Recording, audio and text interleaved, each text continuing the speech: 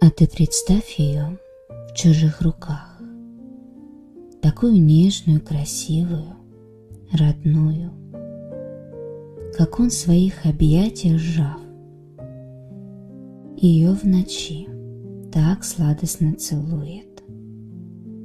А ты представь, она ему готовит ужин, волнуется, сто раз на дню звонит, что он не ты ей так безумно нужен, и лишь за это все ему простит.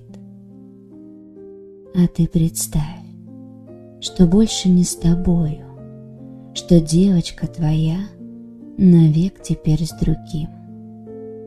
Представил? Нет страшнее горя. И если страшно, значит береги.